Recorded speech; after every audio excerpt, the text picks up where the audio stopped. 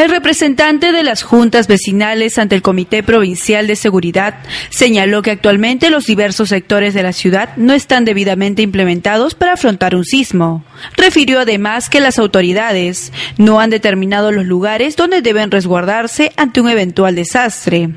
Bueno, necesitamos en este momento que nos proporcionen carpas, linternas y handy, ¿no? Para poder comunicarnos y sistemas de alarmas, como ha visto de Chile, ¿no? Para tocar un, un toque y la gente pues, se ponga también las pilas, ¿no? Necesitamos bastante apoyo y la verdad, la verdad se necesita bastante trabajo, no solamente en papel decir que sí, que esto, que por acá, pero también necesitamos ese apoyo. Carpas, por ejemplo, hay niños, cualquier cantidad donde puedan guarnecerse, la linterna para la noche cuando hay apagones.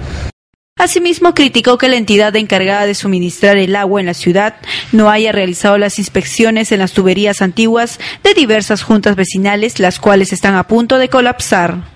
Sí, tenemos acá Bugambilas, tenemos este, para grandes, son, unas secciones grandes que hay, para chicos también, ¿no? Claro que es nuevo, pero también eh, y hay vecinos que están quejando que sus casas están humedeciendo, y ese es un peligro porque las casas están ya carcomidas prácticamente, ¿no? De igual forma, recalcó que postes de luz son un peligro constante después del sismo, debido a que muchos han quedado inclinados, pudiendo ocasionar un desastre.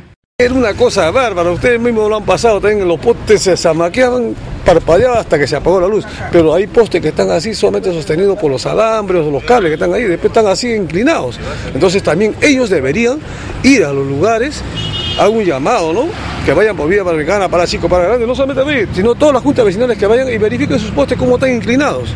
Cárdenas pidió mayor apoyo por parte de autoridades para capacitar a los vecinos sobre cómo afrontar estos eventos telúricos. Finalmente recomendó que estadios de Tacna sean usados por las 63 juntas vecinales y 25 asociaciones para guarecerse ante emergencias.